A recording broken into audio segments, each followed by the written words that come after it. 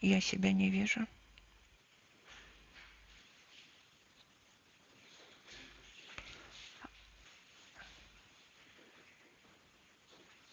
Антон.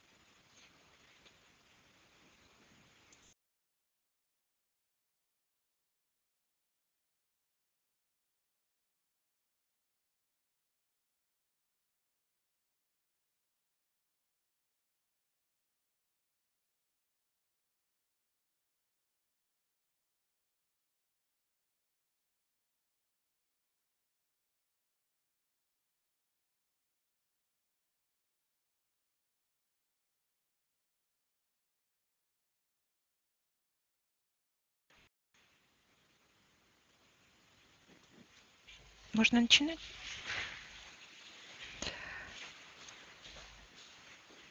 Добрый день. Я рада вас приветствовать. Э, я Ирина Александровна, э, преподаватель академической гимназии при э, Санкт-Петербургском государственном университете. Мы продолжаем с вами наш экскурс в тайны русского языка. И сегодня мы поговорим о безударных гласных в корне слова. А, безударные гласные вызывают э, затруднения в правописании, потому что произносятся неясно, но обозначаются теми же буквами, что и ударяемые звуки.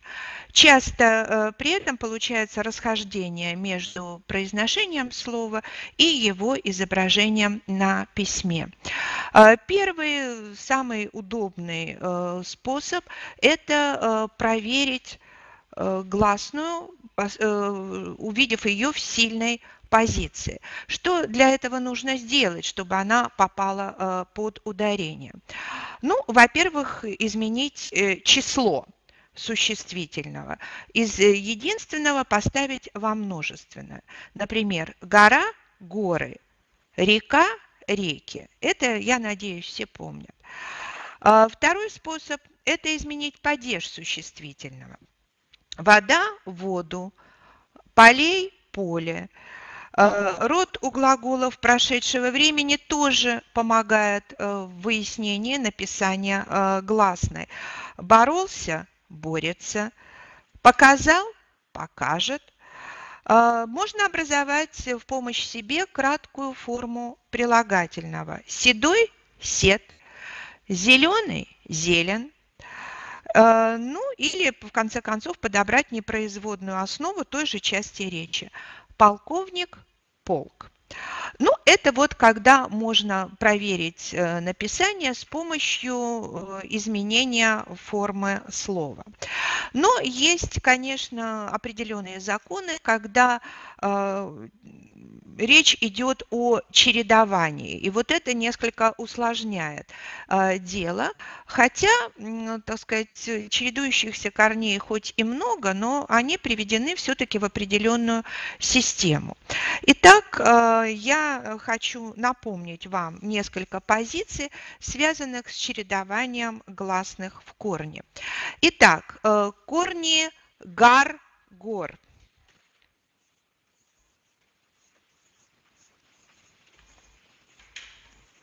гар, гор. А, один из таких коварных э, корней, но здесь нужно помнить, что под ударением пишется А, без ударения пишется О. Э, загар, да, и гореть, безударная позиция. есть такие корни, как зар и зор.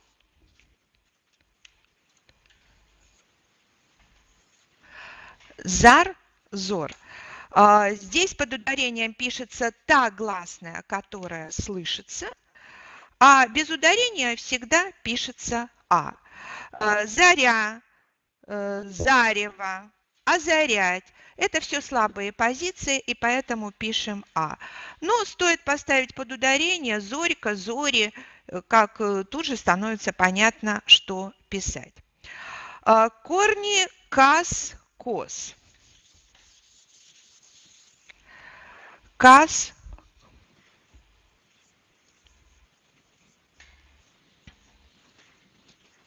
Так, кас, кос. Э, в кос можно добавить еще вот так букву Н а, в скобку, потому что в корне кас-кос пишется О, если за ним следует согласный Н. Вот почему я в скобках и указала эту букву. То есть наличие N всегда подскажет, что в корне пишется О. Ну, а в остальных, собственно, случаях всегда пишется КАС. Поэтому, в общем-то, особых затруднений нет. Еще один э, из разряда таких коварных э, корней – чередование клан-клон.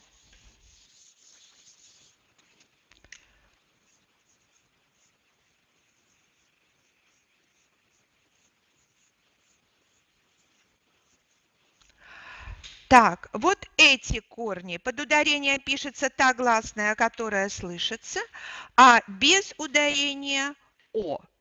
Да, склониться, слабая позиция, поэтому пишем О. Кланяться, естественно, слышна А.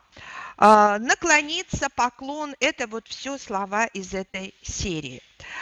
А, в корне э, лаг ложь лаг ложь. Сразу прошу обратить внимание да, на согласные. Так. А, перед Г пишется А всегда. Так, перед Ж всегда пишется О. Предлагать, предложить. А, здесь э, достаточно четкая система, и можно вполне на нее положиться. То есть смотрим, какая согласная идет после гласной корневой. Следующие корни мак, мок. А, вот это уже другое дело.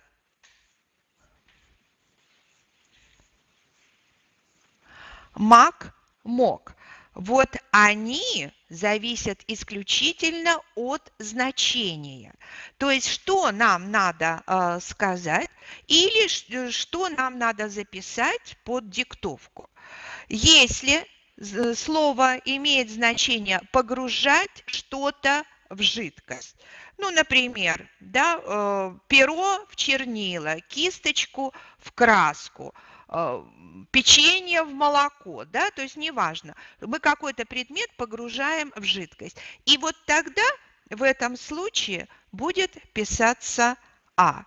Если э, нам говорится, диктуется, или нам самим нужно написать э, слово со значением пропускать жидкость, то вот тут будет второй корень мог. Туфли промокают да? То есть пропускают влагу, пропускают воду.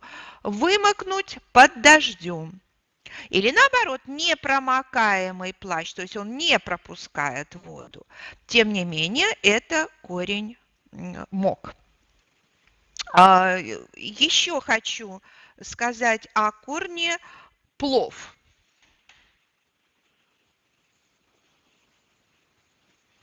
Корень плов.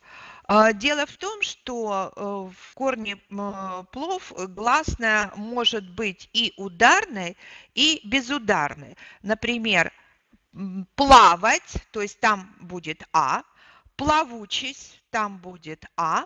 А вот этот корень плов, он пишется только в двух словах. Пловец и плавчиха.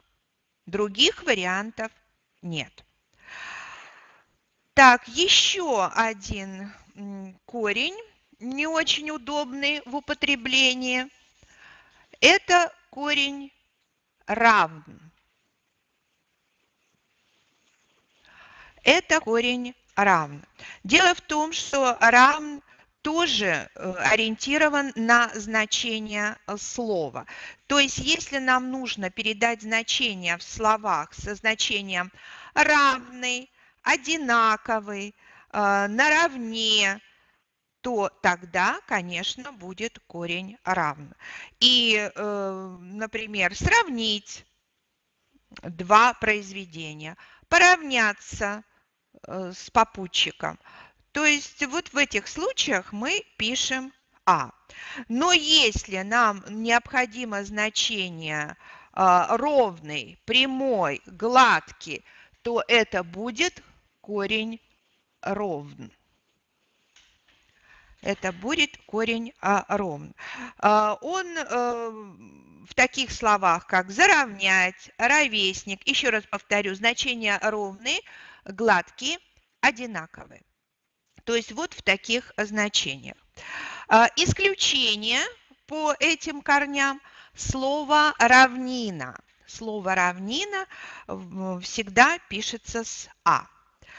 Так, ну и, собственно, э, остался нам э, еще э, один момент выяснить, вспомнить.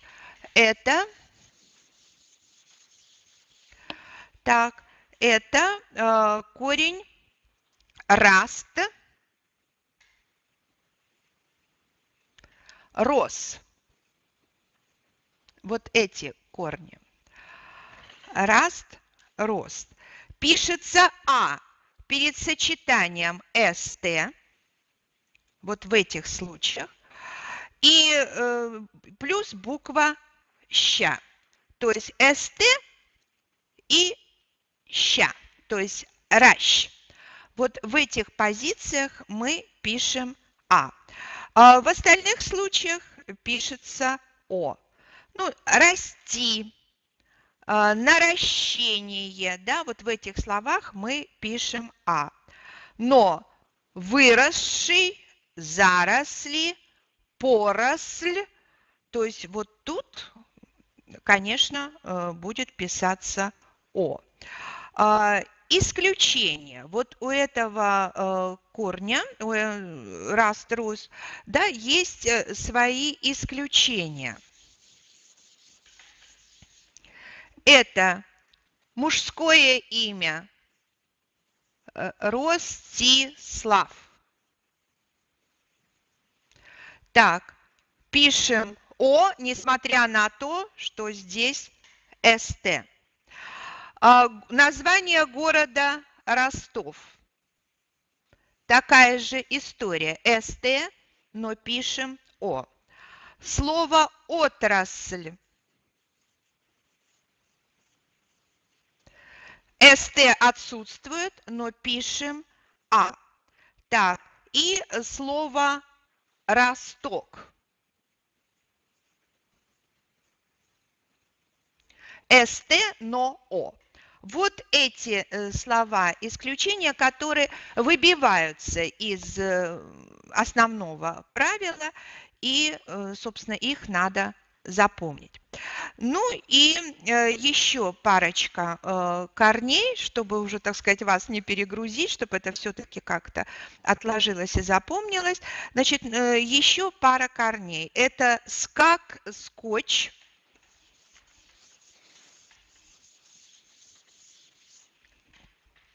Так, это... Так, значит, кстати, э, я хочу сказать, что скак скотч здесь тоже своя система.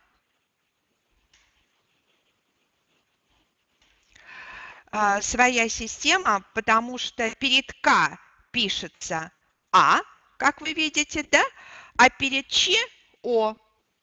Вот, перед К А, перед Ч О. То есть э, вот так, такие особенности у этих корней. Да? Например, скакать, напишем с буквой А, ну, выскочил, подскочил, это уже будет с буквой О. Так, ну и в корне, э, значит, еще берем, еще берем а, пару а, корней. Это твар, твор.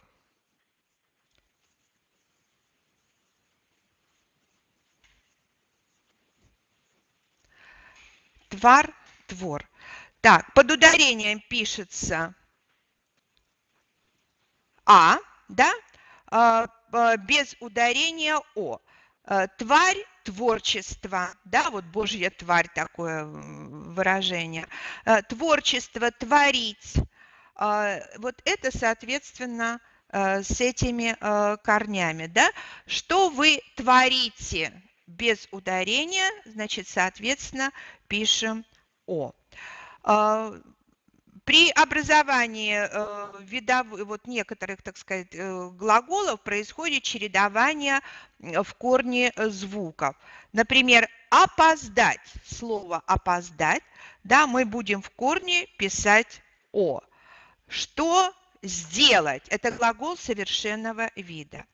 Но в слове «опаздывать» глагол несовершенного вида, да, мы пишем «а», но это сильная позиция, ударная, и ее хорошо слышно. Так, ну и следующий а, момент которые мы сегодня должны вспомнить. А, еще одно чередование а, гласных в корне. Это целая, так сказать, система а, корней, которые объединяются под одно правило.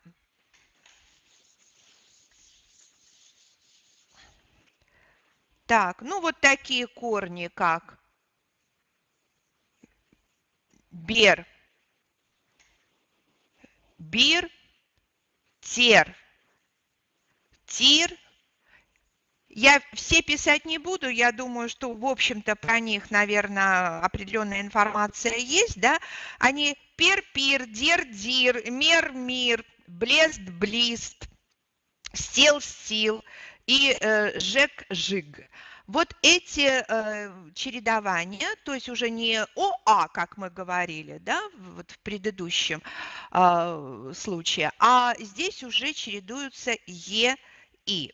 Так вот, в корнях с указанным э, чередованием мы пишем и, если после корня идет суффикс а. Например, раз, бирать. Так, вот он корень бир, и вот суффикс а. Так, во всех, да, э, оттирать.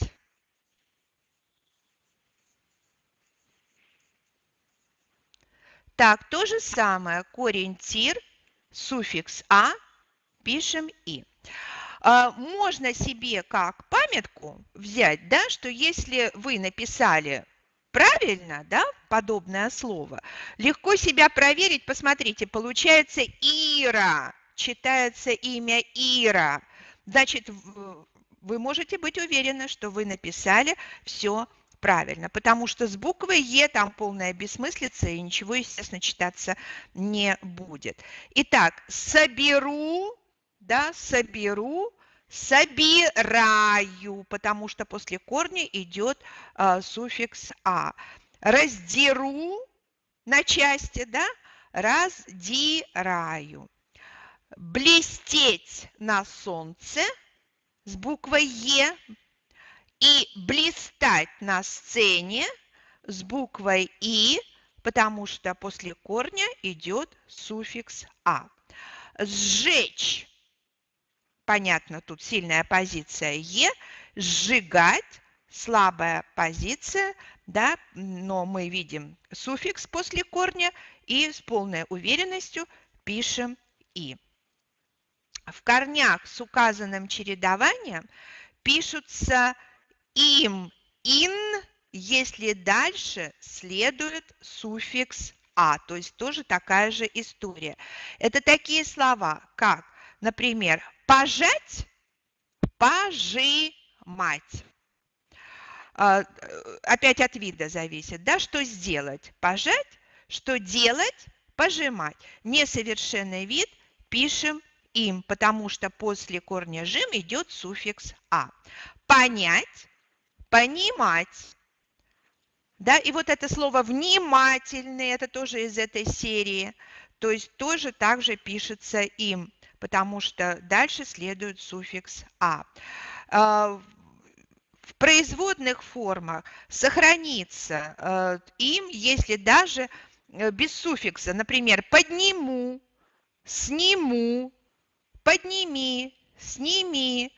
Да, вот это им, то есть оно, в общем-то, достаточно хорошо тоже сигнализирует о правильном написании. Так, ну, я думаю, что на этом мы блок русского языка завершим. А, пожалуйста, ваши вопросы.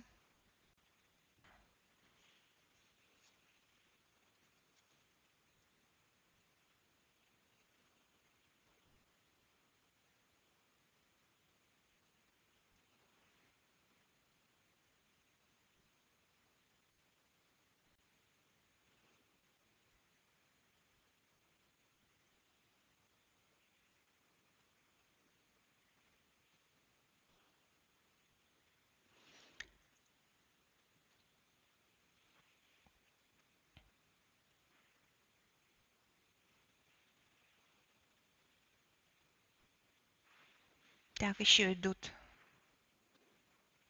печатают вопросы.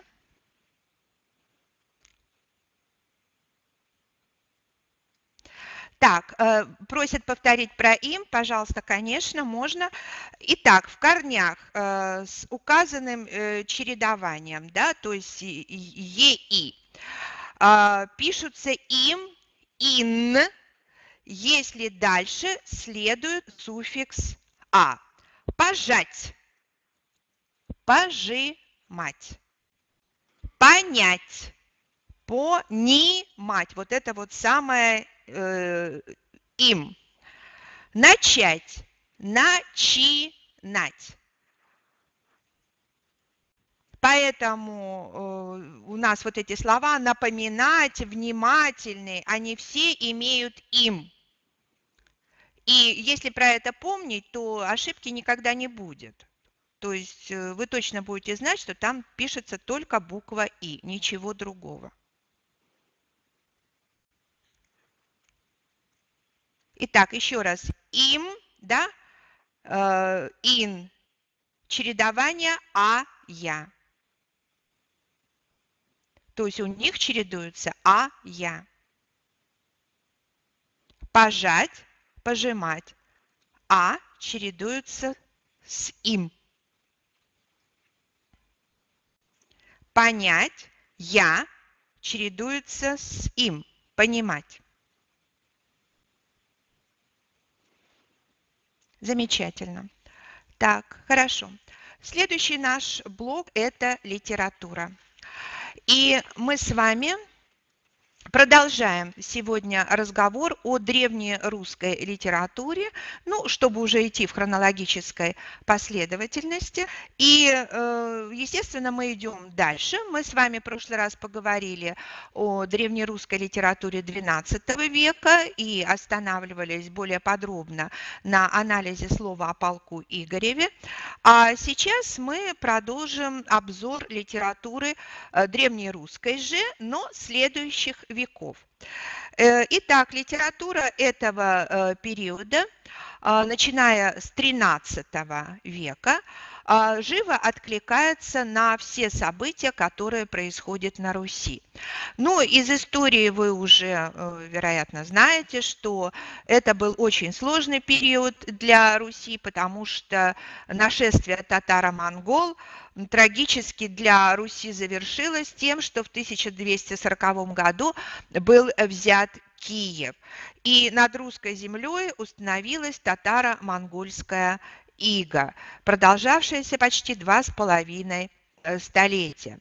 И э, сожжены были очень многие э, русские города, хотя местные жители, так сказать, всегда с энтузиазмом их восстанавливали вновь. И вот ведущее место в литературе этого периода занимают повести – обращаю ваше внимание на этот жанр, повести, посвященные борьбе русского народа с татаро-монголами.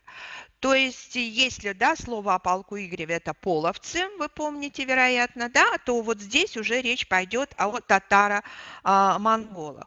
И самой замечательной повестью этого периода а, является повесть о нашествии Батыя на Рязань.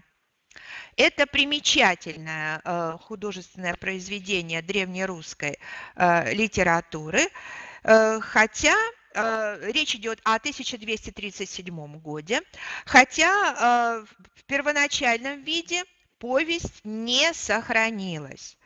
Ее текст дошел до нас в летописях не старше XVI века, поэтому мы опираемся эм, на вот эти данные XVI века, ну, в которых, естественно, рассказывается о веке XIII, и представляет собой соединение нескольких э, рассказов, которые, очевидно, написаны были э, в разное время, разными авторами, и потом уже были объединены в некий вот такой вот сборник. Несомненно, э, в основе некоторых э, из них лежат какие-то э, элементы устного народного творчества, то есть какие-то исторические песни, какие-то сказания, созданные народом. А, значит, повесть о нашествии Батыя на Рязань относится к жанру воинских повестей. Это воинская повесть. Ее основная тема, понятно, борьба э, русских людей с врагами. Э, в данном случае с татаро-монголами. И после слова о полку Игореве это лучшая воинская повесть на, э, в Древней Руси, потому что э, очень эмоционально, очень сильно, вот так вот э, э логически э, выстроено стремление русских защищать родную землю, не щадя жизни. И повесть, конечно, э, призывает к этому, что нужно проявить каждому русичу доблесть и отвагу, и геройски, э, так сказать, идти на подвиг ради спасения Руси. Особое место в повести, это вот такое целое лирическое отступление, занимает рассказ о герое Евпатии Калаврате, Евпатий Калаврат. Э, автор э, рисует нам э, картину жизни Древней Руси, кстати, тоже, как в слове о полку Игореве говорит о раздробленности, что это очень мешает давать отпор э, врагу. И показаны взаимоотношения князей и дружины. Очень демократичные отношения. Князья заботятся о своей дружине, а дружина, естественно, ради своего князя готова на все. И о дружине повесть говорит вообще с очень большой э, любовью, называют удальцами и резвецами, а также узорочьем. Узорочье с древнерусского в переводе означает драгоценность. Вот такой высокий эпитет а, дает э, автор так сказать, именно княжеской э, дружине. Называют их питомцами рязанскими, которые э, абсолютно, так сказать, не задумываясь, идут э, и ради князя своего любимого, и ради Руси своей любимой, идут на смертельный бой. И здесь, в общем-то, показано нравственное превосходство э, русских дружин э, перед э, татарами и, наверное, это связано с тем, что вот эта русская удаль, она поражает даже врагов, даже татар. И автор повести говорит, что, собственно, татары сами понимали, что одерживают победу только благодаря очень значительному численному превосходству, потому что, так сказать, моральный перевес, да, вот моральный дух э, войска здесь, э, конечно, очень был высокого накала именно у русских дружин. Итак, Евпатий э, Калаврат исполин силою, как пишет о нем э, автор э, повести, он среди своей дружины выделяется как самый главный храбрец. И кроме того, что он просто храбр, он еще и великолепный тактик и стратег.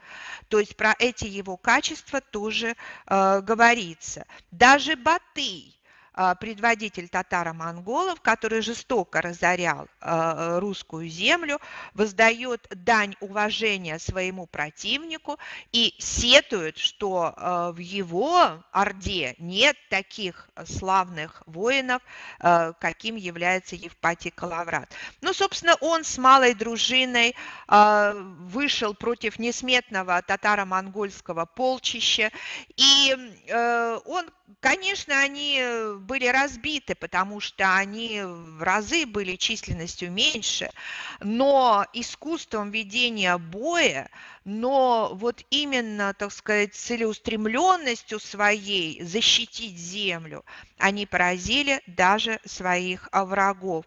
И э, Батый отдает тело погибшего Евпатия Калаврата, оставшихся в живых его дружинникам, и отпускает их чтобы они э, с миром, так сказать, похоронили тело такого э, героя. Ну и, конечно, э, дружина возвращается с телом погибшего Евпатия Калаврата, и автор показывает нам рязанцев, которые горюют, э, конечно, над этой потерей, но которые сплотились и решили во что бы то ни стало дать отпор э, врагу. Еще пару слов об этой повести. Она состоит из четырех рассказов. Э, четыре рассказа в ней, вот так она композиционно выглядит. Значит, первый рассказ – это о приходе Батыя к границе Рязанского э, княжества и э, посольстве к нему князя Федора. То есть к нему рязанцы отрядили княжеского сына Федора – с такими дипломатическими переговорами.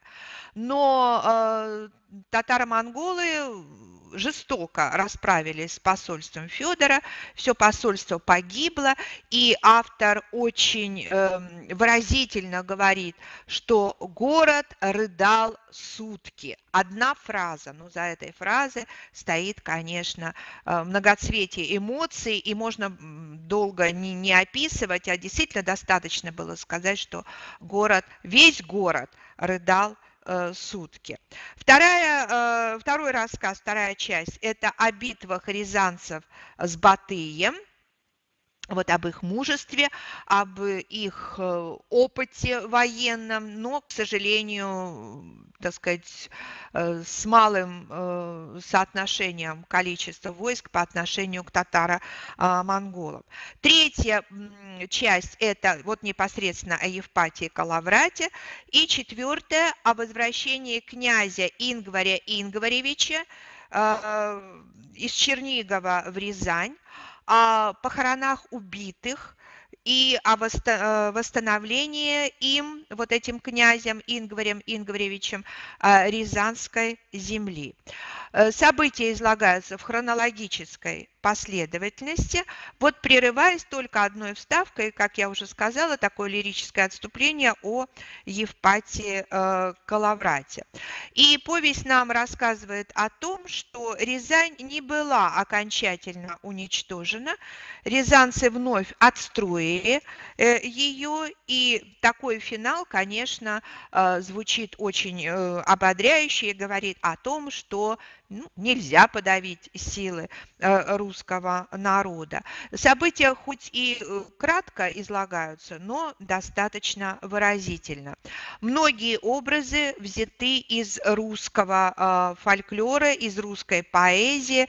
Так, например, князь Юрий обращается к дружине. «Дружина ласковая, узорочья и воспитание рязанское». То есть таково сравнение очень такое красочное, битвы с пиром, а, потому что воины пьют смертную чашу и бьются так, что земля стонет. Находим здесь и отдельные выражения и образы, которые обычно встречаются в древнерусских воинских повестях. Э, например, э, что татары обезумели от такого натиска э, русских и в какой-то момент даже пали духом, а русские э, воины выхватывали упавшие рязанские мечи и секли ими же своих врагов. Ну, здесь понятно, конечно, повесть призывала к защите земли русской от врагов, восхваляла воинскую доблесть и героизм. Э, следующая э, повесть, э, это уже связано с Куликовской битвой, которая произошла в 1380 году, то есть это уже XIV век. И победа на Куликовом поле, как это известно из истории, она э, оживила патриотические настроения народа и вызвала э, большое количество посвященных этому событию произведений. Ну, о победе, понятно, писать всегда приятнее, поэтому эти произведения очень позитивные, очень эмоциональные. И вот лучшим таким произведением считается повесть «Задонщик» Задонщина. Задонщина так называется, потому что э, битва происходила за Доном. Повесть написана рязанцем Сафонией. Сафония звали его. Значит, Сафония был человек, э, судя по всему, достаточно просвещенный, э, литературно образованный, э, и он поставил своей задачей прославить организаторов победы русского оружия в Куликовской битве, князей Дмитрия Ивановича и Владимира Андреевича Серпуховского. А, как он э, пишет, э, а, автор Сафония, что нужно возвеселить русскую землю, да, взбодрить ее вот этой замечательной э, победой. Автор не скрывает, что во многом берет пример со слова о полку Игореве и берет оттуда, конечно, какие-то элементы, связанные с описанием битвы, с пейзажными зарисовками. Он это этого и не скрывает, потому что говорит, что слово о полку Игореве, конечно, прекрасный э, образец. И э, Задонщина создавалась в иную пору, чем слово о полку Игореве. Э, во-первых, к концу XIV века, когда повесть создавалась, э, уже стала э, довольно понятной роль Москвы как центра э, создающегося общерусского государства. И, во-вторых, э, в это время в государстве сильно возросло влияние церкви. Вот в Задонщине все это и отразилось. И здесь э, прославляется, конечно, единый московский князь, который а, объединил под Москву близлежащие земли, который, собственно, и является э, московский князь организатором победы. Э, затем э, здесь, конечно, такой вот, ну, явно чувствуется, ощущается налет церковности, чего абсолютно нет в слове о полку Игореве. И тем не менее русские сражаются за землю русскую, за веру э, христианскую. А, ну и, конечно, прославляют победу русского оружия. В 15-16 веках наибольшее значение приобретает э, московская литература. То есть появилось вот такое название «московская литература». Это объясняется тем, что Москва к этому времени стала политическим центром русского государства. И при князе э, Василии III к Москве были уже потом присоединены последние удельные княжества.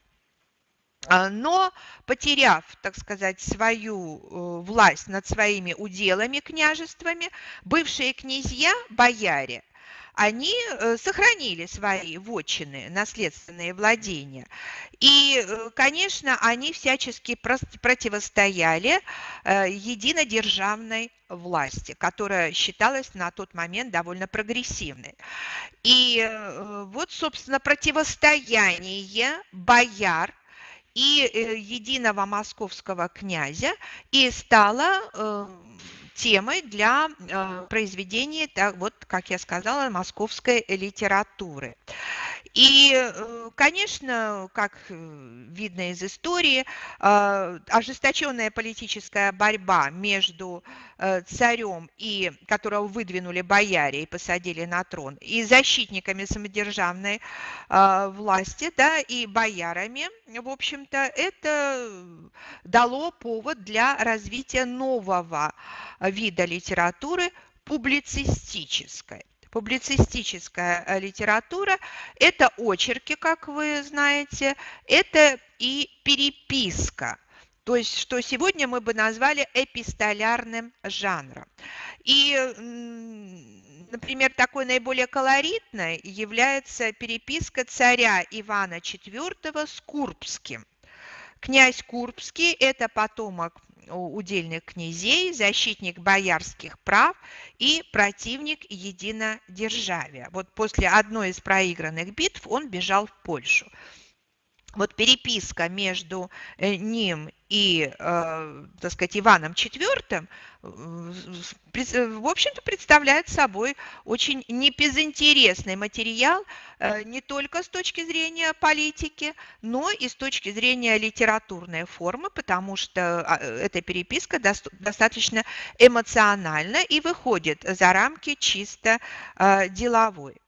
В это же время в Москве появляются летописные своды, и они, собственно, конечно, действуют во благо, во, во укрепление московского э, государства. И появляется ну, довольно-таки известный сборник под названием «Домострой». Домострой – это сборник наставлений он так и назывался – сборником наставлений. Он устанавливал правила поведения русских людей по отношению к церкви и царю, а также э, в быту и в семье. То есть строгий был устав поведения.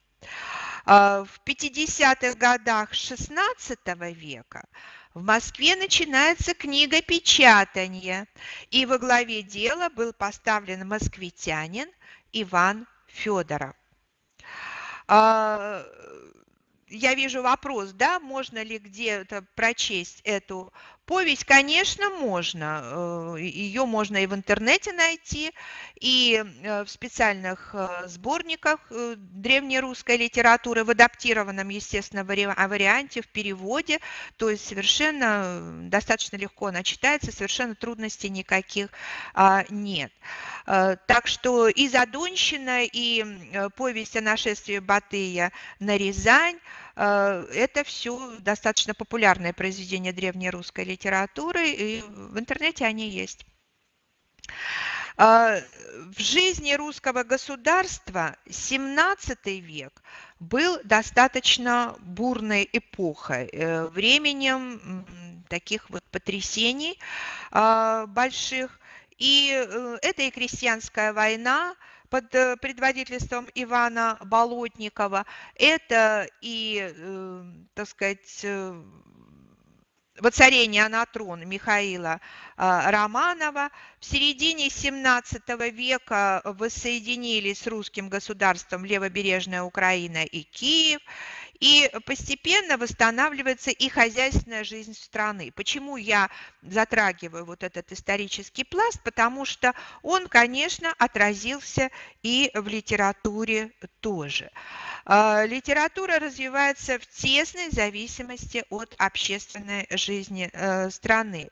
И, естественно, все события они, конечно, так или иначе отражены. Но, кстати, хочу заметить, что э, вот в 17 веке уже гораздо, э, так сказать, шире используется э, система тропов, да, то есть система э, средств художественной изобразительности и э, метафорическое э, и аллегорическое звучание текстов. То есть научились э, создавать аллегорические образы. То есть то, что потом, собственно, и легло э, в основе тех, того же жанра басен, язык и насказания. И вот среди таких произведений наиболее э, популярным является повесть о горе злосчастье через дефис оба слова с заглавной буквы. Повесть о горе злосчастье. Повесть ставит злободневную для того времени тему о родителях, которые придерживаются старины, живут по домострою, и э, о детях, стремящихся жить по своей воле. Э, повесть написана не прозой, а э, стихом, который немного напоминает былинный, немного напоминает верлибр, но, конечно,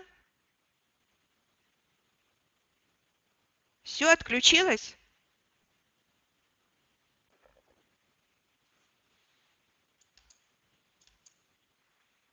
Но, конечно, э, мы видим, что э, злободневная тема, она, э, разумеется, в иносказательных образах.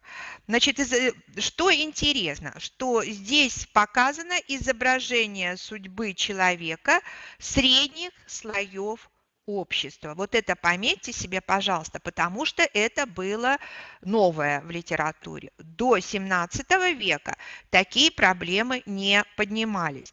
А вот изображение судьбы человека средних слоев общества – вот это как раз и появилось в повести о горе злосчастья. А, то есть речь идет о человеке, который среднего, так сказать, такой средней прослойки социальной, и который ищет своих путей в жизни, хочет жить своим умом, а не заветами отцов.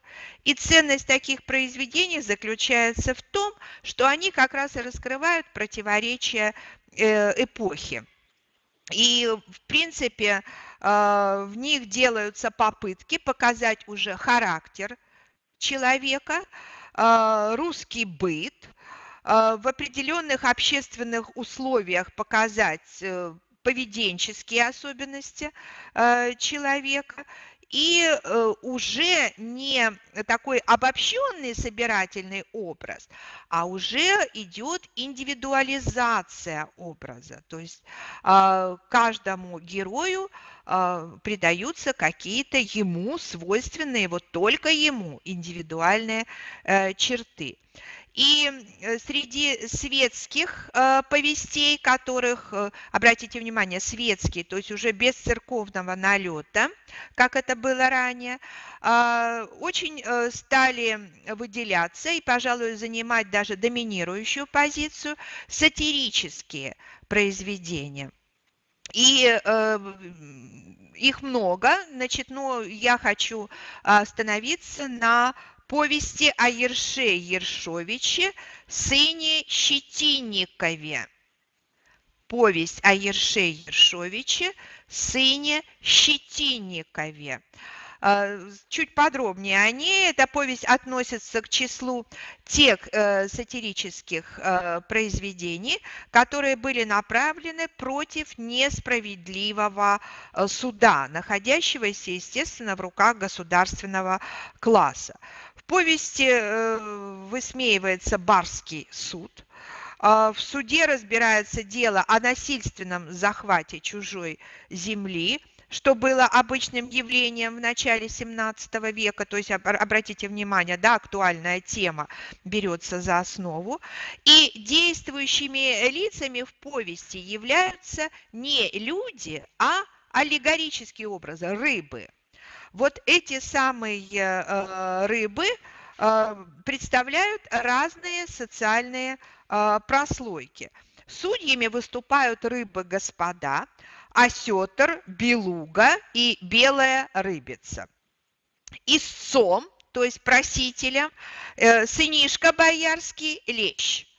Ответчик – ерш маломощный, то есть малоимущий.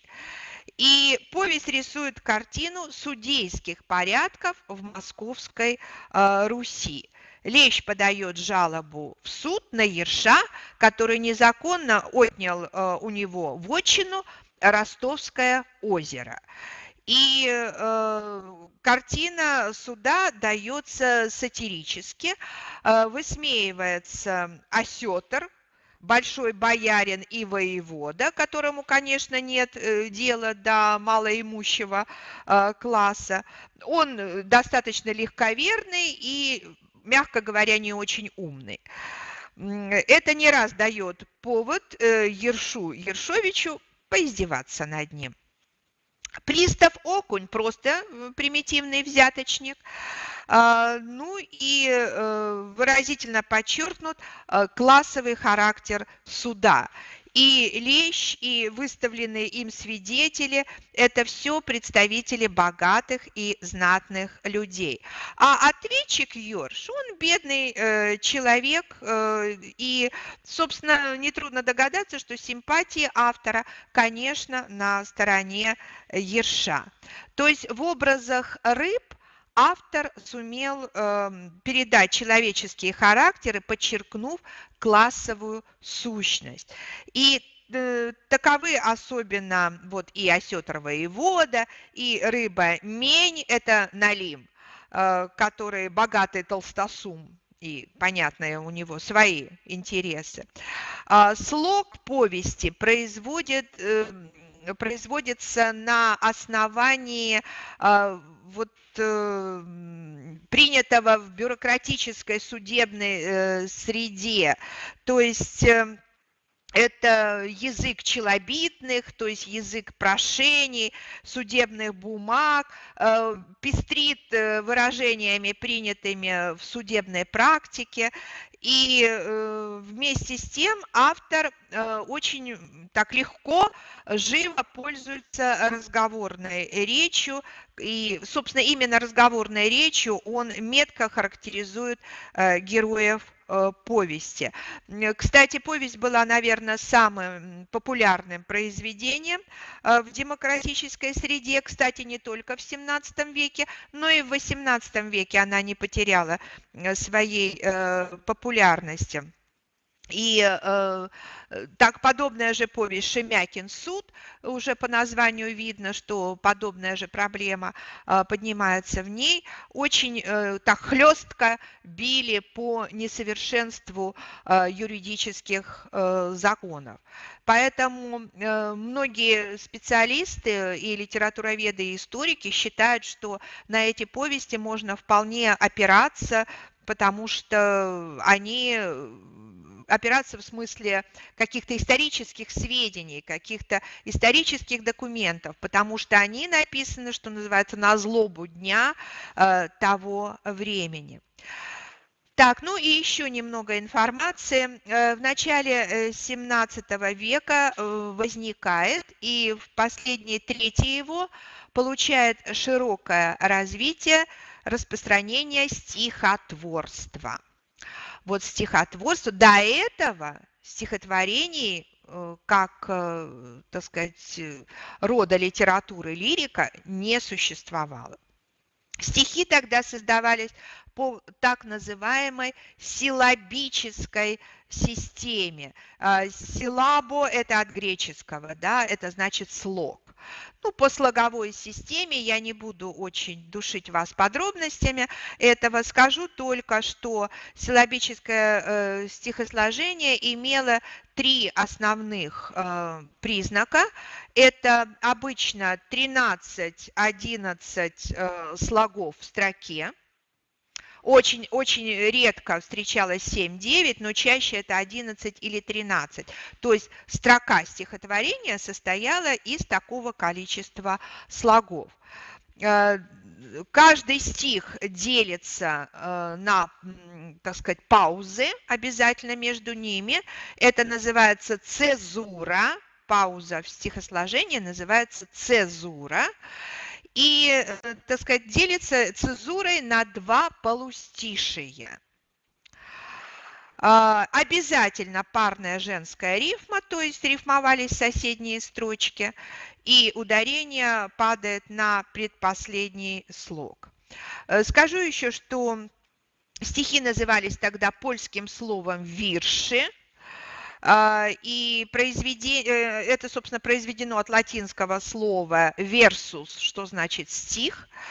И в 17 веке а, еще, ко всему прочему, кроме стихосложения, появляется драма. То есть, то есть вот 17 век, он такой насыщенный по нововведениям.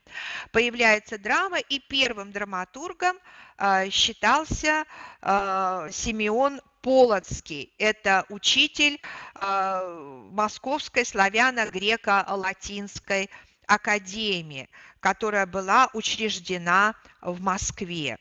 И надо сказать, что к образованию вообще повернулись лицом, э, стали создавать школы уже не только в Москве, но и в других русских городах, во Владимире, в Суздале, в Рязани. И э, в Москве вот как раз открыли славяно-греко-латинскую академию. Ну, что касается литературного э, языка XVII века, особенно последний, э, третий его, он, конечно, очень э, пестр, и мы видим, что здесь, конечно, влияние славянского языка, то есть очень много славянских слов, потому что а, авторы так сказать, старых текстов были ориентированы все-таки на э, славянский язык, а их брали за образцы, поэтому и первые поэты наши, э, древнерусские, да, и они, в общем-то, э, руководствовались этим, этим нововведением. И, разумеется, в новых, так сказать, формах стиха все-таки используют